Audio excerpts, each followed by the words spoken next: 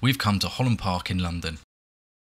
Gardener Steve Redman is going to show us how to safely remove large branches from trees or large shrubs. This refers to branches greater than 5 centimeters in diameter, which should be removed with a handsaw. You may want to remove them for aesthetic reasons, because they are overhanging, or because two branches are rubbing and therefore more vulnerable to disease. Falling branches can be dangerous, so if you have any doubts, it is advisable to hire a tree surgeon.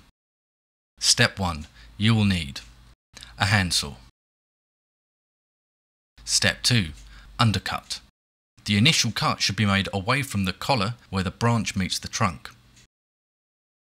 Starting from the underside of the branch, saw upwards until you have cut halfway through the branch. Step 3. Overcut. Remove the saw and make a second cut 3 to 5 centimeters further up, moving down from the upper side of the branch. Allow the weight of the branch to pull itself away from the tree so that it tears naturally.